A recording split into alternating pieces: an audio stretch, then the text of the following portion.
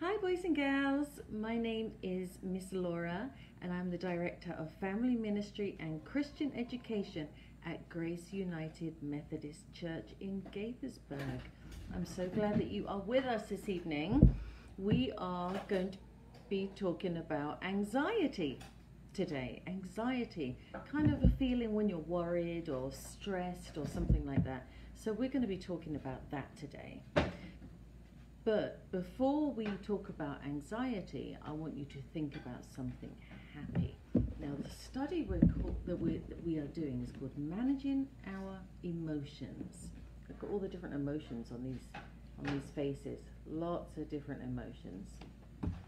So, I would like you, first of all, I want you to know that you are loved. And that is very, very important that you know that. You are loved.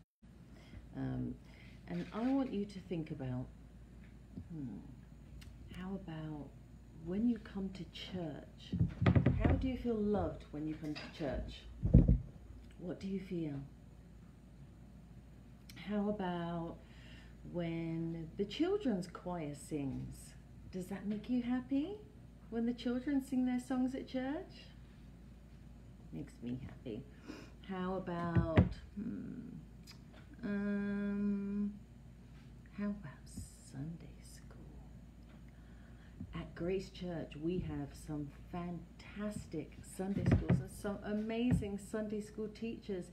And our Sunday school teachers love the children very, very much. Our Sunday school teachers are so wonderful and caring and they care for you very, very much. They are very loving. So I am sure that if you are in one of the Grace Church Sunday schools, then you will feel happy. That anxiety and worry, I think when you go through that door into Sunday school, that anxiety is going to leave you while you're in that room because it's such a happy place to be. Now, now we are kind of on lockdown, um, not able to go places, able to go into church and search because of the coronavirus. We are having Sunday school uh, Zoom, so online. So if you borrow a parent's uh, computer, iPad, or something like that, at um, half past 11, 11.30 on Sundays, Miss Alicia, who is actually one of the most loving people I have ever met, really, truly, she will lead an all ages Sunday school, and we've really been enjoying that. So I really hope you can join in. It doesn't matter how old you are, doesn't matter. You and your siblings, everyone can just join in. And if you need the Zoom information, just let me know. Message me. You can message me on what you're watching right now, um, Engage Children's Ministry, or you can go through the church directory. Again, my name is Laura Freeburn. That's my full name, so you'll be able to find me and message me, and I will give you the Sunday school information. So, moving on. I would like you to think about last week, because last week we talked about emotions, we talked about happiness and joy, but since we last spoke a few days ago, so Tuesday we spoke, since then I would like you to think about the happy feelings that you've had. Can you think of the happy feelings that you've had? It might be going to get ice cream, getting a hug,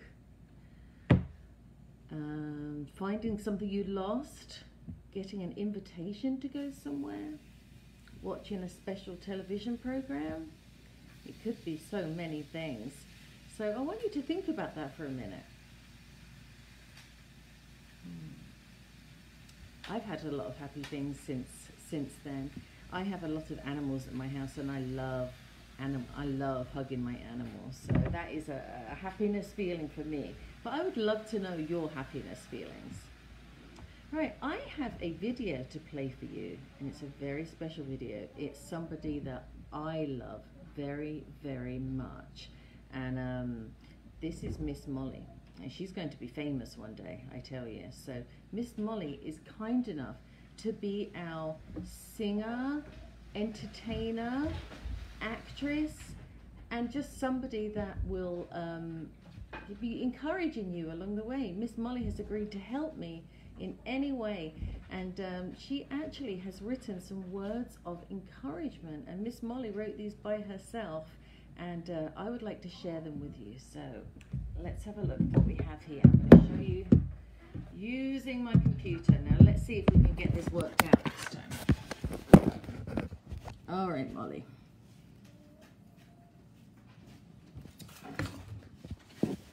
Oh, Molly, there we go. There we go. Molly, Molly, Molly. See?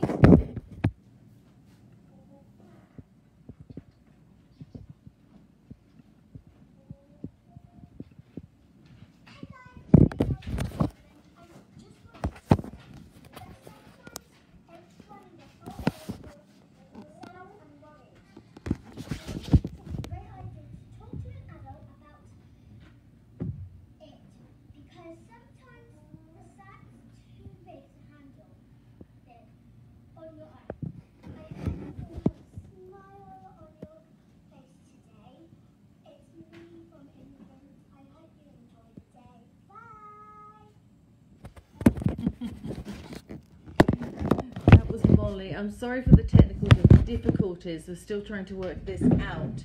Um, I'm going to play it again at the end of the lesson just to make sure that you got to see all of everything Molly had to say because it was a little bit quiet at the beginning. That wasn't Molly's fault, that was my fault. So I will play that again at the end of the session. I'm still trying to work out how to get your videos over, but we'll get there. Maybe by next Tuesday I'll get there and playing the videos will be a lot easier. Okay, what have I got for you now? Let's talk about the Bible. Now, I'm going to read from the book of Luke, the book of Luke, and we are going to talk about the story of when Jesus was in the temple and he stayed behind in Jerusalem to be with the elders, like the older people in the temple, when he was just 12 years old. Then how do you think his parents felt when they realized that he wasn't with them, that he'd stayed behind and they had walked for miles and miles and then realized he wasn't there? How do you think they felt? Let's have a look. Okay, I hear a chicken. Why do I hear a chicken in my living room?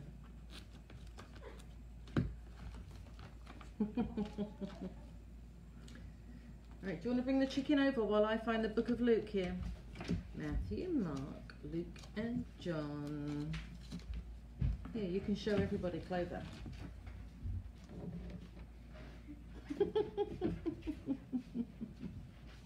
Hi, Clover. Is this your shining moment? Oh, you're going to read for me? Don't peck the Bible. I don't think that's a good idea. Maybe you could find my page for me. I should have found this beforehand. What are you doing? What you doing? I know, I know. Thank you very much. All right, we've got Luke 2, verse 41 to 52. Okay. And I'm reading from the Adventure Adventure Bible that is presented to children at Grace Church. If you do not have a Bible, please let me know. All right, so the book of Luke, uh, chapter 2, verses 41 to 52. All right.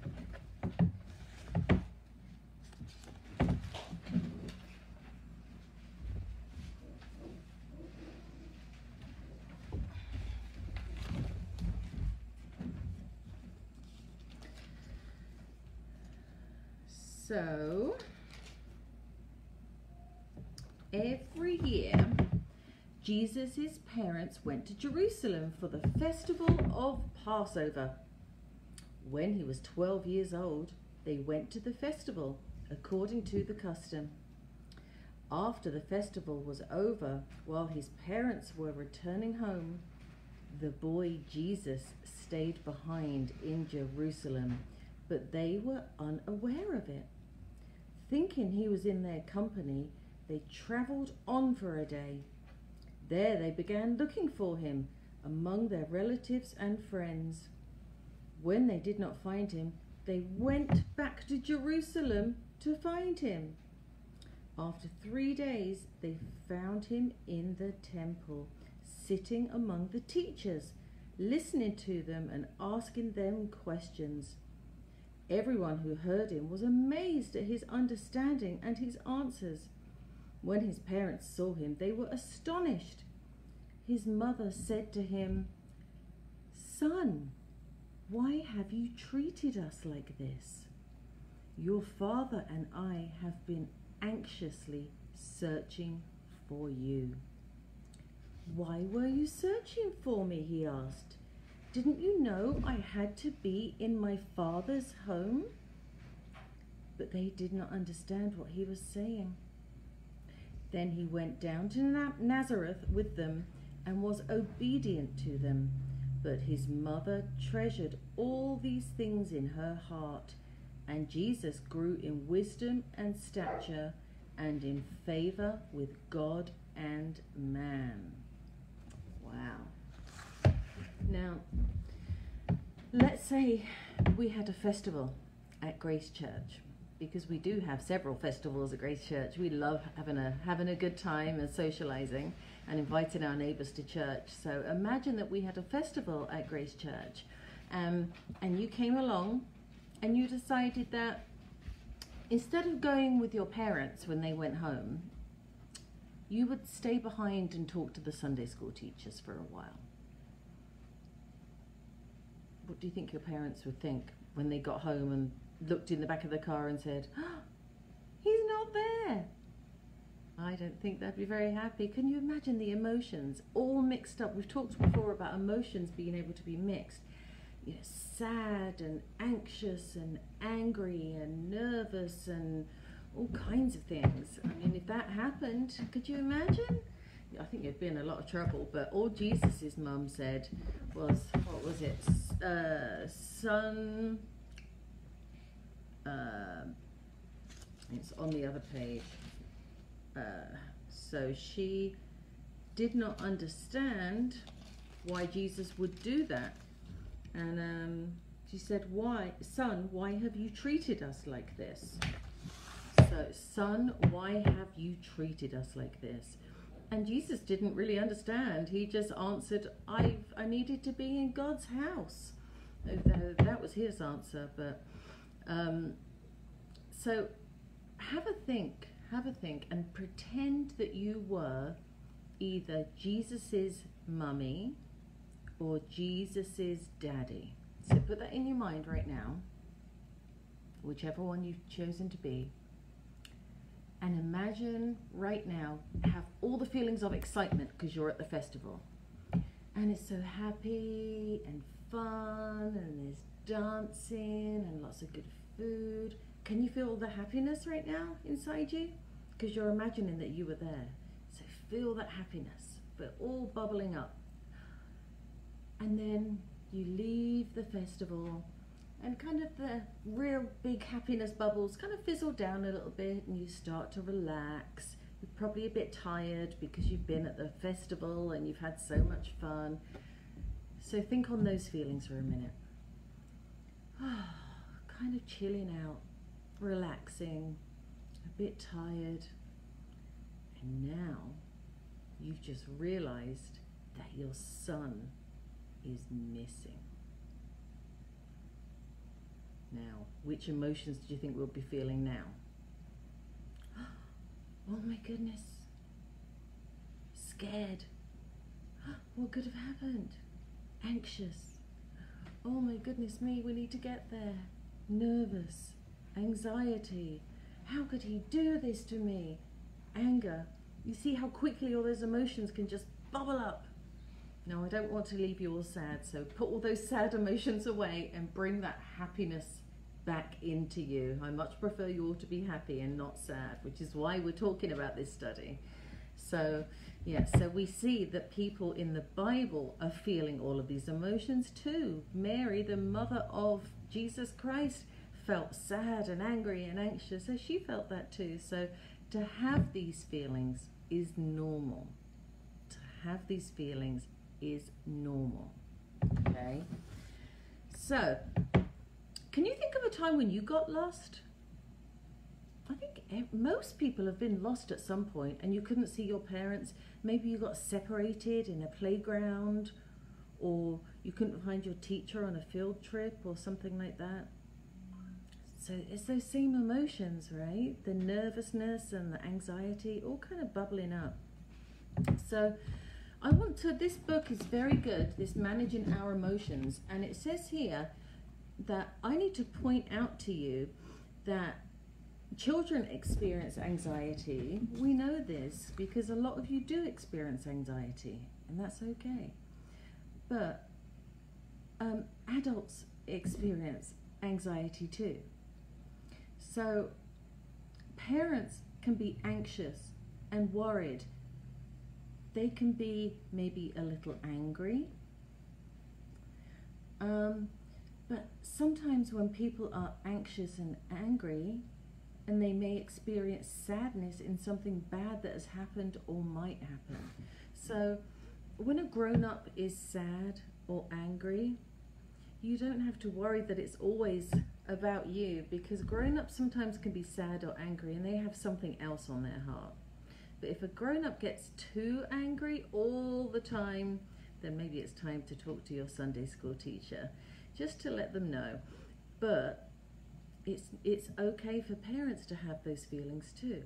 The sad sad and anxious and worried if something bad has happened and angry sometimes. It's parents get angry too. Parents have these emotions as well, just like you. Okay, so it's, it's important to remember that just as in the story, the Bible story that we read, that loving parents and caring adults, so not just loving parents, because some people don't have parents for many different reasons, and that is not to be judged. We're not judging anybody if they do not have parents, but the caring adults that care for you, um, they will always come back looking for you. You will always have someone to look for you if you are lost. And you know what? Even though the you will always have an adult to look after you, who will always come and find you, Jesus is always with you. And he will always find you because he's always with you.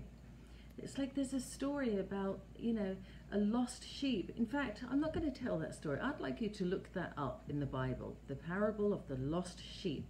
And, you know, Jesus cares for every single one of you. He doesn't just pick someone and say, oh, I'm going to care for you today, or I'm going to care for you. He's going to care for you too. It doesn't matter what clothes you're wearing. It doesn't matter who you are, what your interests are. If you've been naughty, if you've been really good, he cares for everybody and he will always find you. And how do we talk to Jesus, boys and girls? We've talked about this lots of times. How do we talk to Jesus? We pray. And we're going to be doing that together in a little bit. Okay. So, we have a video that I'm going to, that I'm hopefully going to put on here next week, children. I promise next week we will have our technical difficulties sorted out. I promise.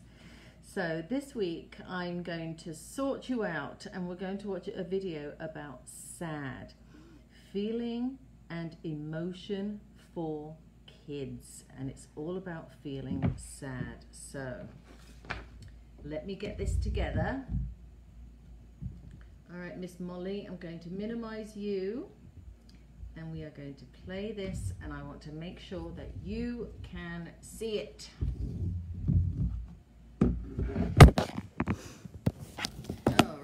All right.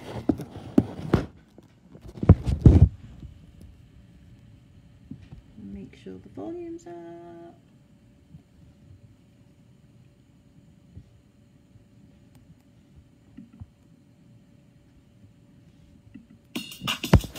ABA Nursery Channel.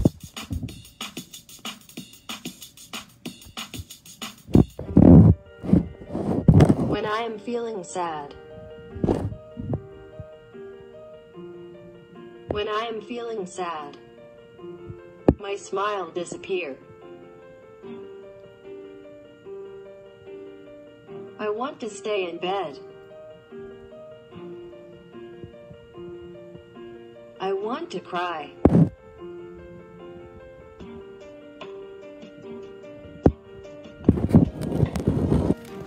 Everyone feels sad sometimes.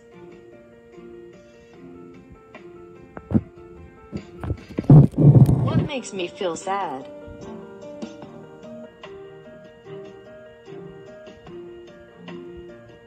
Some things just make me feel sad, like my mammy and daddy arguing. My favorite toy is broken. Someone else is sad.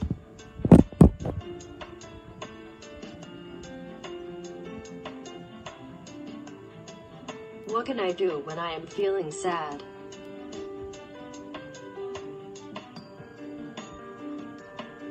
When I am feeling sad, I can talk about my sadness with my friend. I can listen to my favorite music. I can stay with my family quietly. It can make me feel better. Something about sad. Sadness does not last forever. Feeling sad isn't wrong. It's alright to cry when you are feeling sad.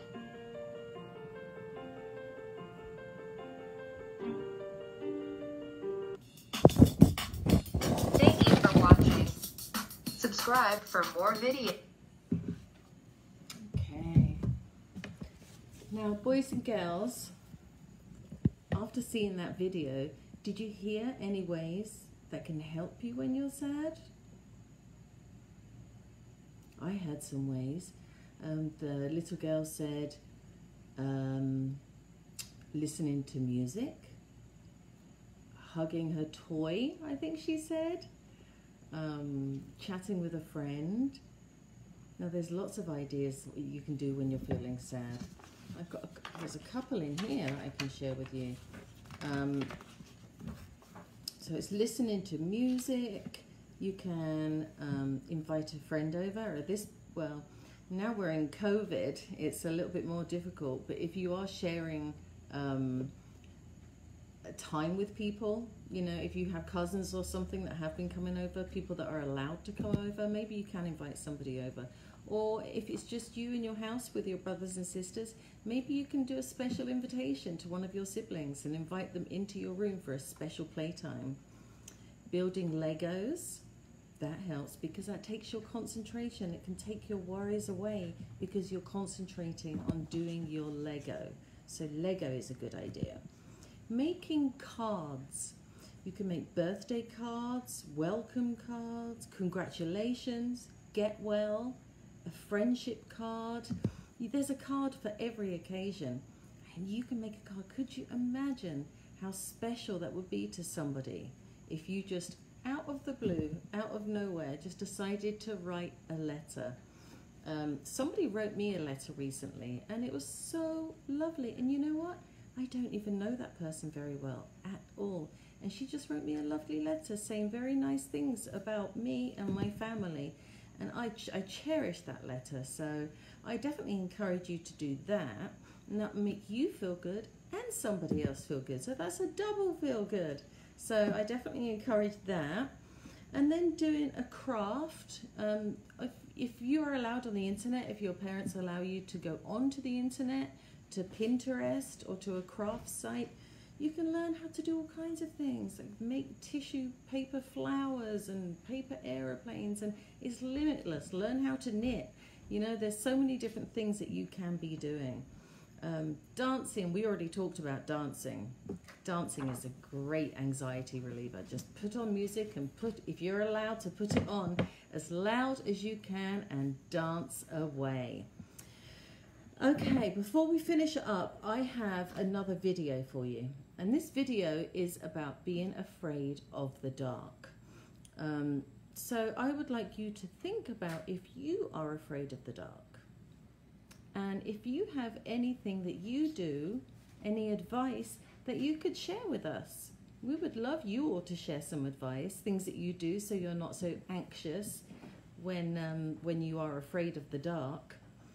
Um, let's have a look. It would be a good idea if you you know to write all these feelings down, why you are afraid of the dark, and um, and just write them all down and look at them and then realize you know with each one how you can stop each of these feelings. So let's have a look. This one is scared of the dark. Okay. Here we go. Make it big.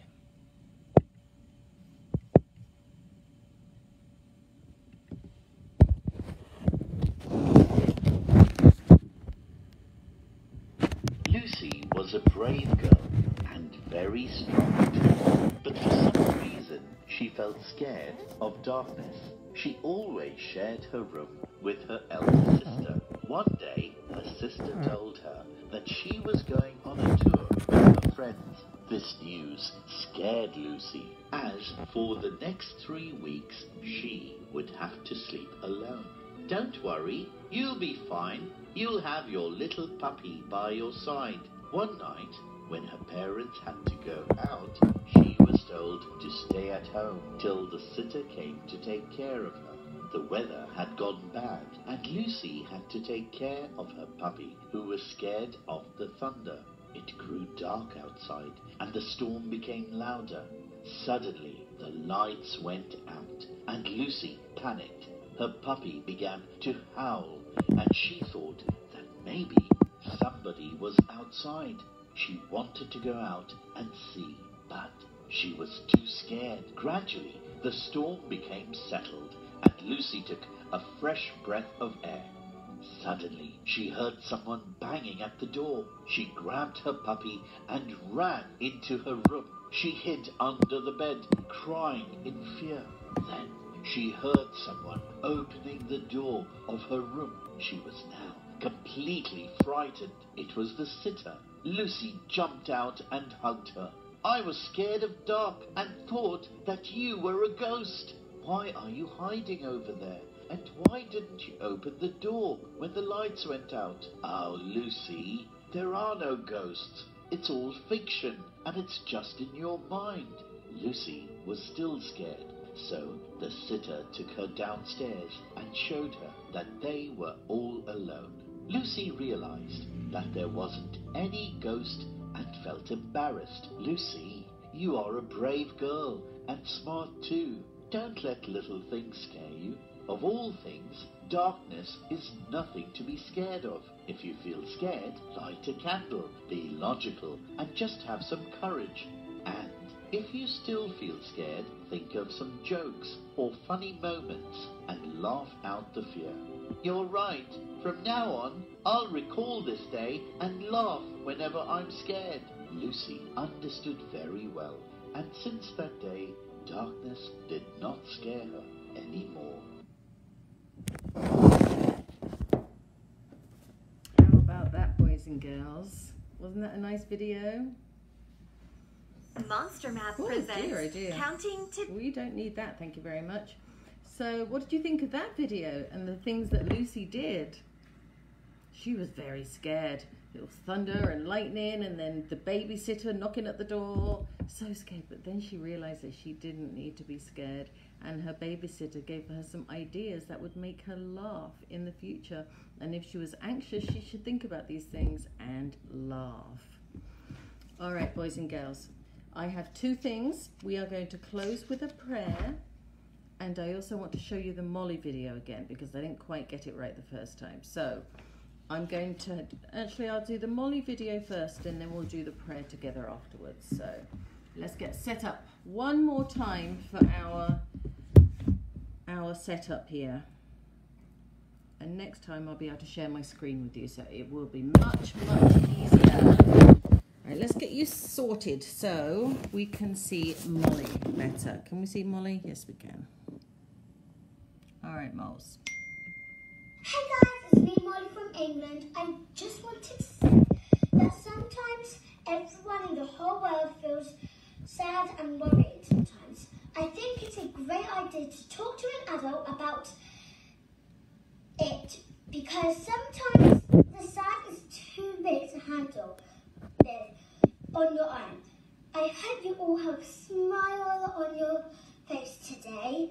It's me from England. I hope you enjoy the day. Bye.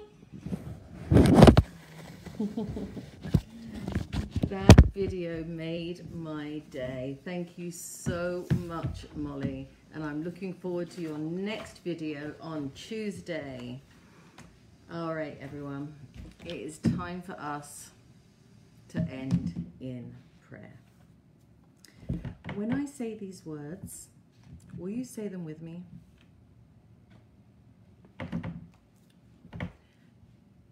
Thank you, God for loving me. Thank you, God, for sending help for me. I will ask your help so I will not be sad or anxious.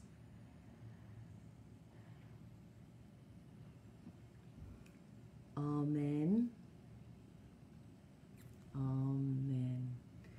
Okay, my lovely boys and girls, we will be back. Let's have a look at what we're doing on next Tuesday. Fear and frustration is what we are going to be working on next week. Um, always, if you have anything that you need to talk to me about, I would love you to message me. I'm always available, always, always available to talk to you about anything at all in confidence if you would like. So um, you may message me on Facebook or through the Grace Church website. Uh, remember that I love each and every one of you. You're very, very special. God loves each and every one of you. All right, boys and girls, I will see you on Tuesday for our next study. Have a wonderful night. Cheers.